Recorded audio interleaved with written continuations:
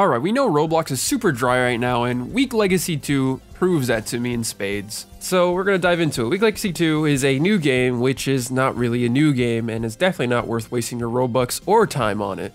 So what is the point of Weak Legacy 2's release? Honestly, it feels like a quick cash grab.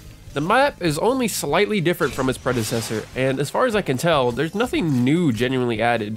Maybe just snake breathing, and I think that's it. The rest is just quality of life changes mostly. As I said, the only big change to the game is a slightly better map, and I think snake breathing. Everything else is pretty much negligible and just quality of life improvements, which are good, mind you, but not a whole new game. From what I hear, that the author had to make a new game because he got bans.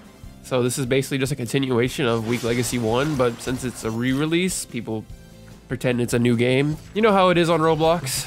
And I understand that a lot of people, this is all new. And looking at the current player count of 6k, I expect most to leave in around one week when they realize there really isn't anything special about this game besides a Demon Slayer bandit beating with bad AI game.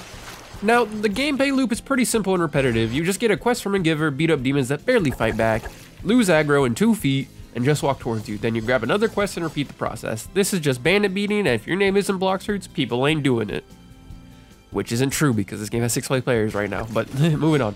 Now, I'll give the game credit for having 10 breathing styles, which is a lot for a Demon Slayer game, and 6 Demon Arts. No one really uses Demon Arts, but they're there if you want to. So I'll give it game credit for that, especially for its visuals. They're decent enough. They're pretty good. While I do think all breathing styles are viable for this game being an absolute cakewalk thanks to the AI just being dumb, besides sun breathing, V1, which it does require you killing a boss first, it's not that hard. And you can just hit up and run because of how bad the AI aggro range is and how dumb they are. They don't even attack you until you do hit them. It's just really, really bad AI.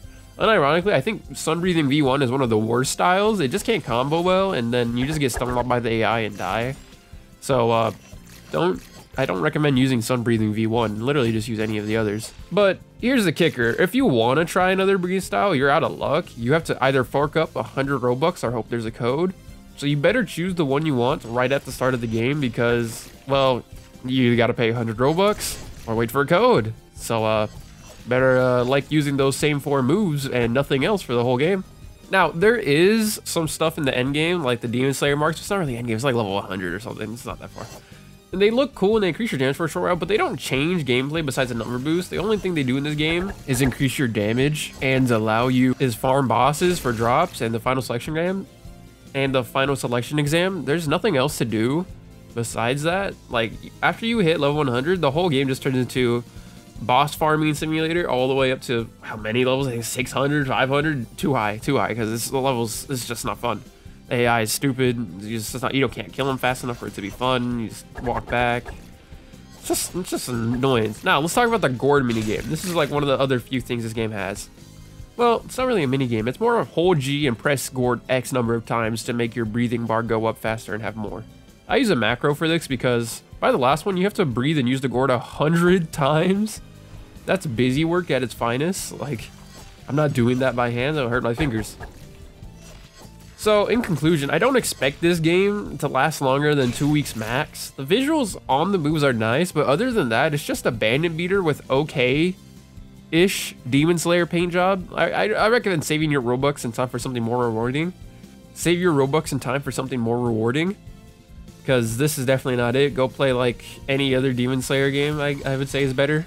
Also, I'm sorry for this video just having like nothing to talk about. This game genuinely just has nothing to talk about. I'm sorry about that. So, uh, if you liked it, subscribe, Zazels and Zazettes, and see you in the next video.